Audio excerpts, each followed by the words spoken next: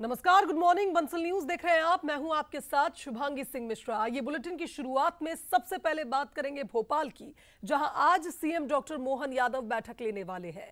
आपको बता दें कि उमरिया में हुई हाथियों की मौत पर मध्य प्रदेश सरकार गंभीर है, और ऐसे में आज शाम सात बजे सीएम हाउस में सीएम मोहन यादव एक बैठक करने जा रहे हैं।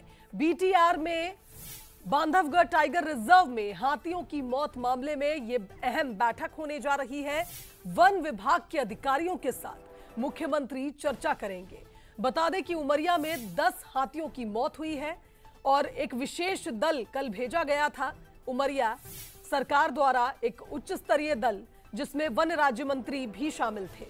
और कुल मिलाकर यह कहा जाए कि अब तक ये स्पष्ट नहीं हो पाया है कि हाथियों की मौत के पीछे वजह क्या है। ऐसे में मुख्यमंत्री ने 24 घंटे में जाँच रिपोर्ट मांगी थी और आज शाम सात बजे मोहन यादव इसमें बैठक करके जानने की कोशिश करेंगे कि इसके पीछे वजह क्या है, हाथियों के मौत के पीछे वजह क्या है। आपको बता दें कि अचानक 10 हाथियों की मौत से हड़कंप मचा हुआ है। बांधवगढ़ टाइगर रिज़र्व में हाथियों की मौत हुई थी और वन विभाग अब तक ये पता नहीं लगा पाया कि आखिर हाथियों की मौत कैसे संवाददाता सूरज का रुख कर लेते हैं। हमारे साथ इस खबर पर लाइव जुड़ गए हैं। सूरज, जिस तरह से ये मामला सामने आया था, कई तथ्य इसमें सामने आए थे। कभी कहा जा रहा था जहरीला पदार्थ खाया गया, कभी बोला गया कोदो कुटकी की फ़सल खाने से हुआ, लेकिन अब जो स्थिति है, वो लगभग स्पष्ट हो रही है। मुख्यमंत्री का कहना है कि जाँच रिपोर्ट के आधार पर ही अब आगे कार्रवाई होगी, और ऐसे में आज एक बड़ी बैठक होगी। सीएम हाउस में।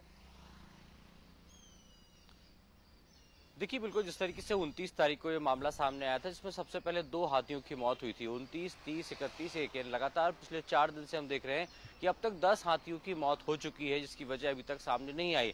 हालाँकि प्रारंभिक तौर पर जो किसान है, वो कहते नज़र आए थे कि कोदों की जो फ़सल थी, उसमें कहीं ना कहीं टॉक्सिक लिक्विड होता है, उसके चलते कहीं ना कहीं मौत हो सकती है। लेकिन सरकार लगातार गंभीर है कि आखिर इतनी बड़ी संख्या में हाथियों की मौत, वो भी कोदो खाने से। तो कहीं ना कहीं सरकार को ये बात हजम नहीं हुई, शायद यही कारण कि लगातार सरकार गंभीर भी है। तीन सदस्यीय जाँच दल भी बनाया गया, इसमें वन राज्य मंत्री दिलीप पहलवार एसीएस अशोक मनवाल के साथ ही पीसीसीएफ असीम श्रीवास्तव मौके पर पहुँचे हैं। वहाँ पर जाँच की जा रही है और माना जा रहा है कि अगले 24 घंटे में एक जाँच रिपोर्ट जो है वो मुख्यमंत्री को सौंपी जाएगी कि आखिर हाथियों की मौत के कारण क्या है। क्योंकि तेरह सदस्यीय हाथियों का झुंड था, इसमें दस हाथियों की मौत हो चुकी है। तीन हाथी अभी भी आसपास घूम रहे हैं। इसके साथ ही उमरिया के आसपास दो गाँव की बात करें तो दो किसानों को भी हाथियों ने हमले में मार गिराया है। ऐसे में उनके परिवारों से भी मुख्यमंत्री ने जो समिति बनाई है, वो उनसे मुलाकात करेंगे कि आखिर जो दो घटनाएँ अलग अलग हुई, जहाँ पर दस हाथियों की मौत हुई है तो वहीं दो ग्रामीणों की मौत भी हुई है।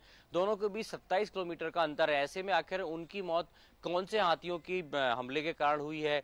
पूरा मामला क्या है? आखिर घटनाक्रम इस प्रकार से हुआ है? हाथियों का झुंड कहाँ से कहाँ जा रहा था? तो तमाम जो जाँच के बिंदु हैं, उनके आधार पर जाँच रिपोर्ट तय की जाएगी।